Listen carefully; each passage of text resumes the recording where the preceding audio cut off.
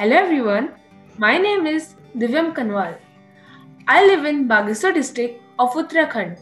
I study in grade 8 and my hobbies are reading storybooks, studying and playing.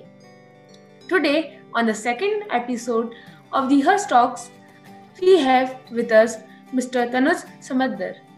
He is a talented artist from the Kamrup district of Assam. He is known for his work with color pencil, oil, and watercolors. He also worked very deftly with charcoal and acrylic.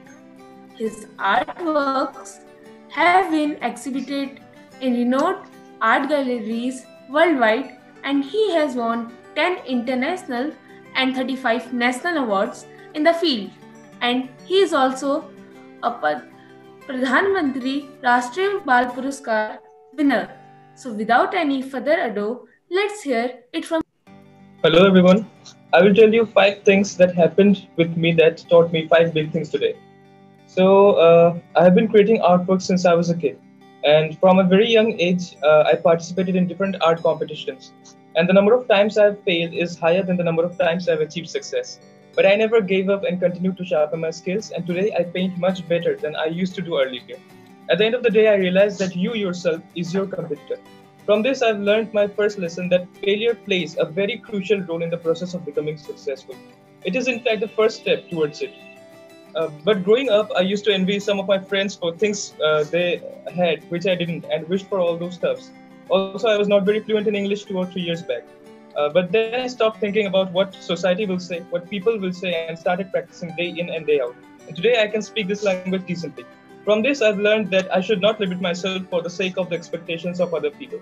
So don't limit your potentials only by thinking about what people would say about it. You might not be fluent in a particular language, or you might not possess branded items, but these doesn't uh, these things doesn't matter at all. Don't matter at all. What matters most is your self-satisfaction, respecting the person who you are today. And it is rightly said that practice makes a man perfect. I have applied this rule in my life as today I create paintings in acrylic, watercolor pencils, charcoal, graphite, water mediums, etc.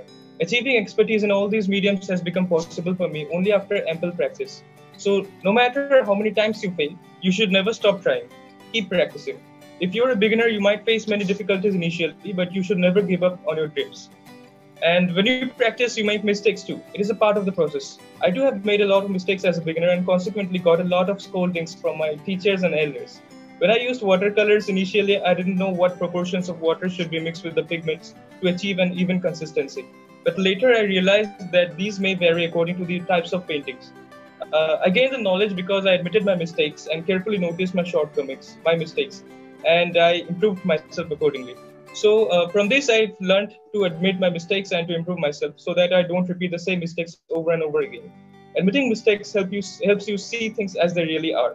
Mistakes happen, but how you deal with them is what makes the difference. I would also like to add that uh, we all should have faith in the Almighty.